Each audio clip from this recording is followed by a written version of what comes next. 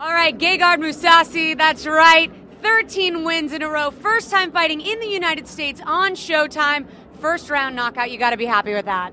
Yes, uh, there was some pressure coming into the fight because it's my first fight in the US, and uh, but uh, I trained hard for it, and I was very com- confident and comfortable in the ring, in the Now, cage. You got the side mount, which led to the ground and pound. Uh, great combination of skill and power. Is that your plan? Was that your plan the whole time during the fight? No, I just wanted to fight stand up with him, but I knew he would uh, go for the clinch, and uh, I didn't want to give him any advantage. So I knew when I could take him down, I would have. So and I had the chance, so I took it. Now, you took him down the ground and pound. At what point did you know the fight was over?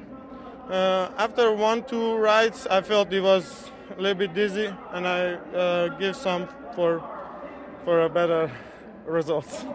Well, uh, hats off to you for allowing the referee uh, to step in and do his job. Uh, great job tonight. Congratulations. You've got to be happy. Yeah, I'm very happy. Thank, Thank you. you. Thank you. Thank you.